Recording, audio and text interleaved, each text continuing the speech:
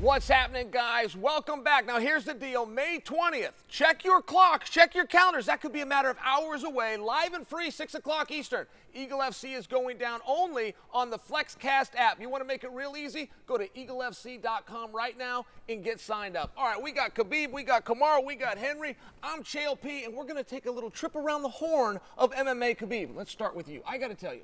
I'm a fan. I am a fight fan. I watch everything on TV fight related. I have not turned my TV on and watched MMA in a period of time without seeing you. My sense is you are busier now as a coach, trainer, and a promoter than you ever were as a fighter. Am I close? Yeah, it's like right now it's like I'm more busy than I was active athlete. You know, I have uh, so many guys around me. I have to take care of them. You know, I have uh, Eagle FC. I have to uh, travel around the world everywhere. You know, and uh, yeah, it's a little bit busy. And what's that like emotionally? I mean, you're very opposite roles. When you're a fighter, you got to be selfish. When you're a coach, you got to be selfless. Like when your guys are in there and competing, do you feel something different than when it was you yourself? You know, it's like, of course, I feel different because uh, when I was fighting by myself, I can I can fix anything inside the cage. But you know, it's like when you're outside and your close friend or brother inside the cage, you know, and you just have to talk. You know, you cannot do nothing. It's like a little bit hard. You know. Sure. Yeah, and, and uh, Chuck, and I, I, it's crazy. You know, you talk about like the commitment of a coach. Like I literally got in this morning pretty fairly, fairly early, 5:30 I'm at the lobby. Who do I see? I see, you know, I see, I see Khabib. You know, he's helping his brothers cut weight. So they talk about dedication. The dude is, the dude is dedicated. I, you know, me waking up at 5:30. I don't know. oh, that's beautiful. And Kamar, I got to talk to you real fast because I saw a picture of you was on the internet. Now I'm going back about two months, but you just had surgery. Your hand was wrapped up. There has been uh, the worst rumor in MMA is that you're going to be fighting with Leon Edwards, but we haven't gotten a date. Are we closer to that? I mean, it's it's crazy now because it's, you know, I never really take time off to do anything, and so now that I'm forced to, it's and especially with the year that I had last year, it's almost like, you know, the the fans and the the media and the public are just kind of they're entitled to, to me being in there next week, next month, and so I, I'm seeing all these news everywhere, which is why I stay off the internet nowadays, of oh you're fighting in, in June, oh you're fighting in July, oh you're fighting this month.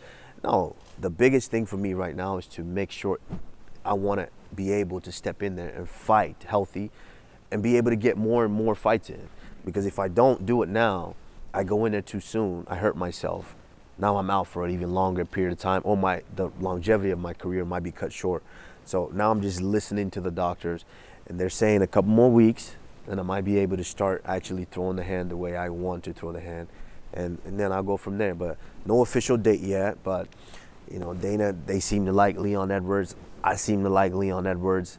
You know, the world seems to like Leon Edwards right now for the first time, and uh, so hopefully we'll do it. All right, so nothing's changed. I mean, I didn't miss something within that answer. Your hand is healed. It is going to be Leon, and we don't yet have a date. Do I get that right? Hand's almost healed. All right, excellent. Couple more weeks. Excellent. And Henry, if I can move over to you, you made some news back in the USADA pool looking for an opponent. We getting any closer on that? Of course, but I've been inspired here at Eagle FC. You know, watching these guys, you know, throw blood on us like that last time, Chael. You know, so there's a lot of good options. But I'm coming back. I'm reclaiming my crown, and I'm going up again. I'm taking another, I'm taking somebody else's crown too. All right. So I'm greedy. I'm a gold digger. I love it. no, I love it. Digger. All right, guys, let's let's get into this. I got to tell you, there's always been talk in MMA about the size of the cage. I don't know anything about it. I don't know a big cage from a small cage. I don't know anything about it. However, for the first time, I'm changing my tune because this is a tight cage, and we are going to go in a main event with Junior Dos Santos and Yorgan De Castro. They are literally two and a half steps away from each other. If they both take two and a half steps, we're meeting right here, and all hell could break loose tomorrow night. Khabib, what do you think of this main event? You know, it's like I think a lot of people underestimate Yorgan. I think you know, and uh, I think it's tomorrow night they're gonna give hard fight for Junior Dos Santos because he can fight, he can punch, you know, he have very heavy, heavy hands, you know, and he, have very good uh, submission game, you know. We everybody see what he did last fight inside this cage, you know how he choke out his opponent, you know. And I think he's gonna give very hard fight for Junior Dos Santos. We saw Yorgan uh, two months ago right here. We did a press conference and he faced off with Junior. I will tell you at the weigh-ins this morning, De Castro looks like a very different person. I would guess he's down close to 25 to 30 pounds, which I, I think speaks to the dedication and how serious he's taken this opportunity. Yeah, it's like yesterday I was talking with him. He say this is like most uh, important fight in his life, you know, and he understand this is very big opportunity for him, you know, and he told me like he, he's not gonna lose this fight, you know, no way, and you know his opponent is like is like big name, one of the one of the biggest name on this game, you know, Junior Dos Santos, former UFC heavyweight champion, you know, he was he was couple years he was like face of the game, you know, like 10 years ago, and it's very interesting fight. And Khabib, Very- there was a report that came out today. The Associated Press was talking about a meeting, a rumored meeting between you and Scott Coker coming up to discuss a possibility of Junior Dos Santos versus Fedor. Is this rumor true? Yeah, yesterday we talked with him. I talked with him is with uh, Scott Coker. Next week I'm gonna be in uh, San Jose, help for my guys uh, in training camp, and of course I'm gonna meet with him and we're gonna talk about this. First of all, we have to watch what's gonna happen Friday night here in Eagle FC, and if Junior Dos Santos show us his great performance, we're gonna sit and talk. We're gonna sit like uh, talk about like some serious business. You know. Excellent. And Kamaru, I got to tell you, when you were making your run, you were back on the Ultimate Fighter. You had a dream of getting in and getting your name in the lights. Junior Dos Santos was a champion of the world, so I know you've watched this guy. I know you at some point you even admired this guy. What do you think about him coming back, making his return, doing it here in Eagle FC?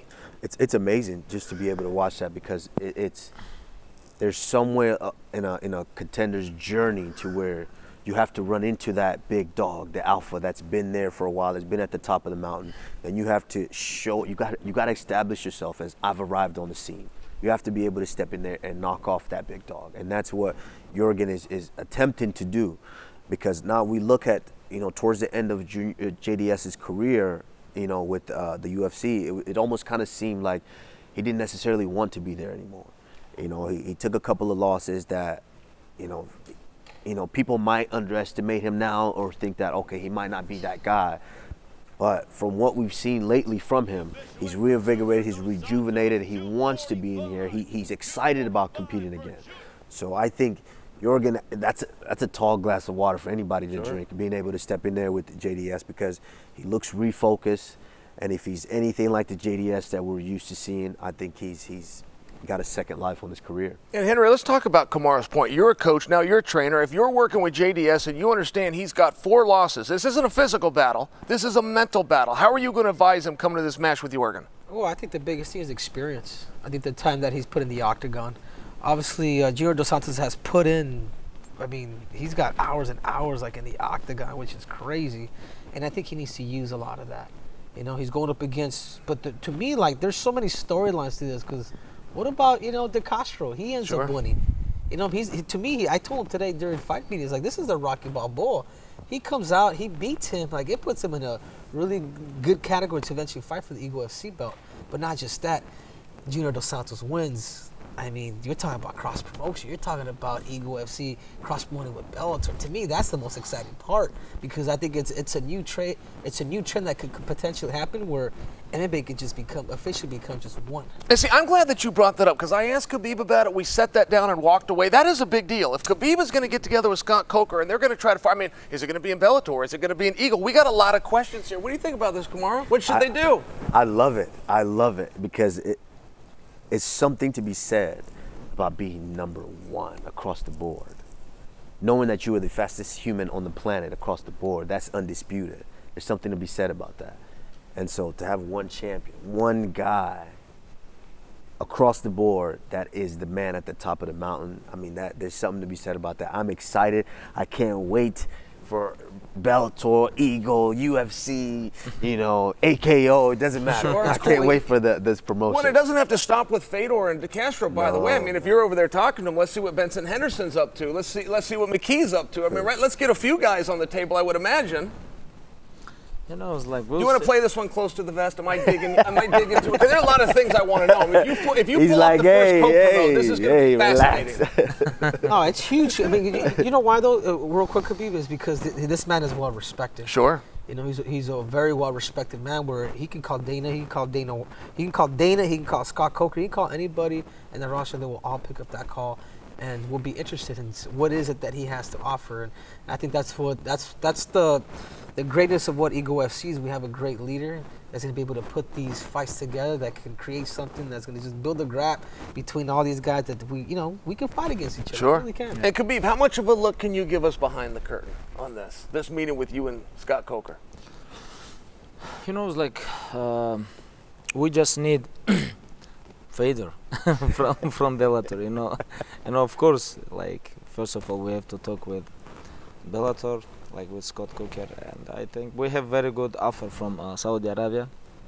Maybe we can make this end of the this year in Jeddah or Riyadh, somewhere like in middle of desert, you know, Sure. and uh, we have a couple very good locations. We have here Miami, we have Moscow, we have uh, Saudi Arabia, Riyadh or Jeddah, and you know it's like uh, and uh, of course we have good relationship mm, between me and Scott Coker, and uh, we have Fedor, we have J, Junior Dos Santos, we have everything. We just have to bring everything together and just let all fans around the world en- enjoy. Excellent. Excellent. My interpretation of what was just said is that we are going to go to this meeting, but we're looking to get uh, Fedor over here. Is that is that what we're hearing? That that sounds right That's for it now. sounds like. All right. I, I like it. I do Dude, too. Can you imagine? I do Can you imagine having Fedor fight? I, I would actually like it in this arena. It's special. I- this this arena is so cool, man. You, you can feel the punches. You can hear the noises.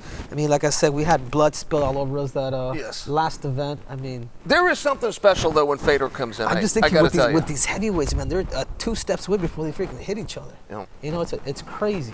All right, co-main event, guys, and I'd love to tee this one up. Uh, just because it's Hector Lombard, if there's anybody that I feel story did not get a fair shake, it's Hector Lombard. At one point in his career, he was 22 straight wins, and I remember people trying to dismiss him or trying to say that he didn't have hard opponents. I remember going 22 training camps, 22 weigh-ins, and 22 fights, and he won them all.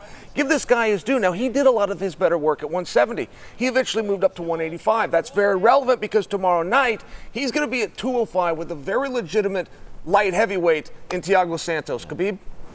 Oh, about this fight, I'm very exciting because I think someone gonna go sleep. You know, in first round. This is my prediction. First round, yes. in first round, I think someone gonna sleep, and uh, you know, and uh, same time we have very interesting fight for uh, Hector Lombard after this fight. You know, because we have one more fight um contract with Alexander Shlemenko. They fight 10 years ago. They already fight each other in Bellator uh, middleweight title. You know, they have big story and uh, they both have contract with us, and it's gonna be very interesting. Even tomorrow night, like uh, Friday night here in Eagle FC, and in future, end of the year, I really wanna make this fight. You know. And Kamar, See, see, this is what this is when you start putting on the promoter hat here, because I'm, Looking in, in ahead. the, I'm you're looking ahead because I, I'm starting to be in this realm as well. So when you're like he's already planning, okay, we've got this going on, this going on. That that's amazing, you know, and I, I think it's a it's a tremendous fight because I've I've had the pleasure of actually training with Thiago uh, Silva, growing up in the sport and actually seeing this man, you know, go through the ups and downs of, of MMA, and he's a guy that's he's a very very game opponent. Tiago's not going away slowly, and so you actually have to put him away, or he's going to be there all night. And, and you can ask any training partner that he trained with. He, he was one of the hardest workers and the guys that's in there. He's willing to push you. You know, I mean, it, I've never had the pleasure of training with Hector Lombard, but I've heard some stories. Yeah. We've all heard stories, and so I think this is going to be a fantastic fight. I I, I want to say I agree with what Khabib is saying, because both guys come to fight each and every time, and both guys were always those guys to where they knew that we're, we're front runners. Right. We got to get, we got to, you know, we have an after party, you know, in, in an hour, so we got to make sure we get this fight over with as quick as possible so we can get there. specifically 205 pounds, though. I mean, Hector's going to be giving up some reach, and I don't, you know, I, you talk about cardio. I don't think Hector gets tired, but I do think he uses the majority of his energy in the first round. I don't think he manages his energy well, right? Well, That's well I would said. say. That right, is he well just puts. His foot down. That's he well comes out there. If the second round comes around, he's not, he's not quite the same guy. At 205 pounds, does Hector have the power that's going to be necessary if he's got to get him out of here? I, think he's. I- I mean, the power is power. When you're when you're a guy like that, when you're that short, compact, I think he's, the power is always going to be there. I think Hector's one of those guys. If a Hector hits a rhino at the right spot, it's falling over. Sure. So I think they both have the power, but I just think that Tiago's a little more used to being up at 205. to where Hector is not necessarily used to it. But Hector knows if I can, I got I got a first round. If I can get in there and I can land that shot, I'm knocking this guy down. And Henry, we're, we're sitting here talking about our analysis from watching these guys, but these guys used to be teammates. They trained together every day for three years. That's the way the story's been told to us. What can they gain from each other with that experience? Well, I, I remember actually being at ATT, and I was out there for like a month. But a lot of people don't know that. Like when I started my MMA, and I remember those were the two guys that nobody kind of wanted to go with because they were just like it was. they'd give you a hell to hold that Sure. class. It was like all the above, and I think uh, I think that's what I think they respect each other, but they also know that they're both you know they're both willing to throw out the kitchen sink in whatever situation may happen. Man, we, we might even need some security guards out here, but. uh Man, it, it- it's an interesting fight, and I, and I, I go back to like I think about Hector because obviously he's he's a shorter man. He's gonna really have to use his grappling. I think that's right. And don't forget, he was an Olympian in judo, but he doesn't do a lot of grappling. I'm glad you brought that up. Yeah, and the other thing too is you have, we have to keep in mind is Tiago, Ti- you know, Tiago he, he trains with uh, Tyrone Spong. I mean, how much you know when you train with an elite stand-up fighter like that, how much better are you going to get? And I know that uh, that's just that's. I'm curious to see what what the outcome is going to be. All right, guys, those are our two big ones that everybody's looking forward to. But we got a stat card top to bottom. I mean, 6 o'clock Eastern tomorrow night. Some fights are going to break off Khabib. Is there anybody you're specifically looking forward to? Honestly, I'm like very exciting about Darrell Horcher.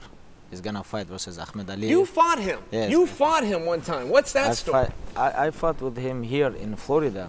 Uh, I supposed to fight with uh, Tony Ferguson, and like nine days before fight, Tony get injured, and uh, I remember like it was, it was Thursday. It was Thursday. UFC called me. I was in uh, my grappling practice in ATK. Next Saturday, I supposed to fight versus Tony Ferguson. They called me. They say, Tony is out. We have opponent for you. I'm like, and they told me his name is Darrell Horcher. I'm like, okay. I watch. He was like uh, in a local show, welterweight champion, and he come to lightweight, and it was his first fight in UFC. Yeah. Of course, I finish him, but I'm very excited about his about his uh, fight Friday night here because he have uh, opponent, very tough opponent, very exciting striker, Ahmed Aliyev. I know him. I trained with him long time, you know, couple years in Dagestan, and uh, it's gonna be a very good fight, you know. And Kamar, for you, what fights going under the radar you're you looking forward to? Man, I, I there's a lot of great fights on this card. A lot of UFC vets. These are guys that have been at the highest level. For me, I, there's a couple of fights. Uh, obviously, my buddy Sean Bunch on here, but uh, Sean Soriano. I mean, this is a, a- training partner of mine, the guy that I've, I've that has watched me throughout the progression of my MMA career, and I've watched come in to his own. And, and I mean, this is he's one of the most talented strikers I've ever seen. And I've seen some talented strikers. I mean, we've, we've got Tyrone Spong, and yeah, I- Sure. but Sean Soriano is one of the best strikers I've ever seen. And what do you know about Sean's And- opponent? Uh, he, he's taking on Paulo Paulo Silva. Okay. You know, also trains down here at MMA Masters. Those guys do a tremendous job of, of preparing their guys for fights. As as I know, I, I fought Colby Covington in my last fight, and, and, and he was trained over at MMA Masters. And you know, as you saw the result, it was just a unanimous decision and not a, you know, I didn't break his face this time. Sure. So you know, that that that goes to show how they prepare their guys. They really prepare these guys.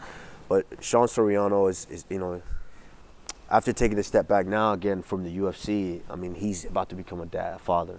And so there's something that does something to you. It's a different switch that you have to make mentally of how you go out there and, and you uh, approach your career and everything that you're doing. So I, I'm excited for that fight. I can't wait to see him put on a striking display. And Henry, what one are you looking forward to? Man, I'm, at to, I'm gonna have to go with uh, Sean Bunch. You know, my my uh, my Olympic teammate. Uh, you know, the guy that I spent probably the most time in my uh, elite career wrestling. You know, a, a, Olympic uh, Olympic Olympic alternate, uh, NCAA finalist. Sean Bunch is kind of like the guy. He's actually one of the most decorated wrestlers like in mixed martial arts like now, like till today, and he's only getting better. Obviously, we saw him fight here uh, the, the, the last uh, Eagle FC, and he, he continues to keep showing improvement. And I think if Sean Bunch can continue to keep getting better with the striking, with the wrestling that he has, I think he can beat anybody in the world. All right, so you were a teammate with Sean Bunch. You're a fellow wrestler. You were a teammate with Sean Yes, Bunch. sir. Let me be critical of Sean because he is one of the best athletes in MMA. I will go that far. His record has surprised me, and his ups and downs have surprised me. What am I missing? Because when I look at Sean, I go, okay, that's the guy you don't want to deal with.